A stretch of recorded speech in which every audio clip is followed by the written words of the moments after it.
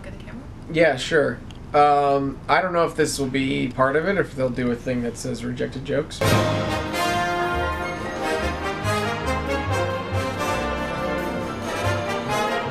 Steph and I thought that uh, to get people excited for this month's Lit Night, we would read some jokes that were rejected from past Lit Nights. Yeah. We thought that would be a good idea. Jeep debuted a new car this week called the Gladiator. It's the car manufacturer's first truck in decades, and its first car named after a Russell Crowe movie since 2007 short lived Cinderella Van. I think that's funny. I. A picture of an egg recently topped Kylie Jenner for the most liked picture on Instagram. Sorry, Kylie. Real women have elliptical curves. What are elliptical curves? Authorities in Florida were pleased this week after a teen boy was rescued after getting trapped in a bank vault. Less pleased, the person who deposited that boy.